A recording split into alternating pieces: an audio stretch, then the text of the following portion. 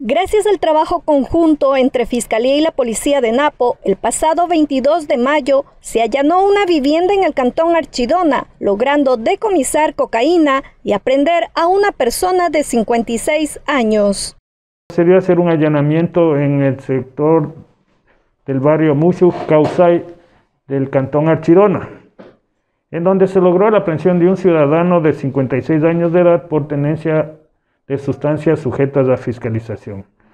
el cual se logró ubicar al interior de una habitación en unas funditas plásticas transparentes en el cual contenía sustancia color beige, la misma que al ser em,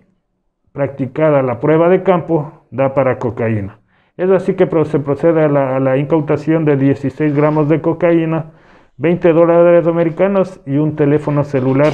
que no se pudo justificar la, procedencia ni la propiedad del mismo.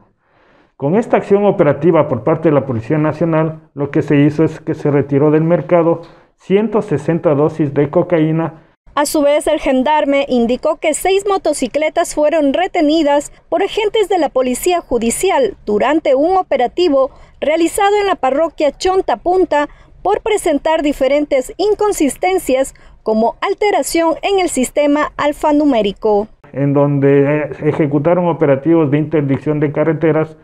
procediendo a hacer la verificación de ciertos, de ciertos vehículos, eh, específicamente verificando las, los seriales alfanuméricos de los mismos, logrando eh, ubicar seis motocicletas, seis motocicletas que no pudieron en muchos de los casos justificar la propiedad ni la procedencia y en otros casos inclusive existían eh, fallas o alteraciones de los seriales alfanuméricos de las mismas, razón por la cual, y una vez que, como una de las estrategias y una de las acciones operativas de la Policía Nacional, está el, ejecutar este tipo de operativos, se procedió a la, retención de las seis motocicletas, las cuales son ingresados a los patios de la Policía Judicial para ser puestos de orden de la autoridad competente. Por otro lado, indicó que fueron 20 las personas aprendidas durante el fin de semana, nueve de ellas por conducir en estado de embriaguez. Una importante productividad, como es la detención de ciudadanos por tenencia de sustancias sujetas a fiscalización, un detenido por eh, boleta de apremio, dos detenidos por orden de apremio, un detenido por orden de boleta de detención, un detenido por presunto delito sexual, cinco detenidos por violencia intrafamiliar,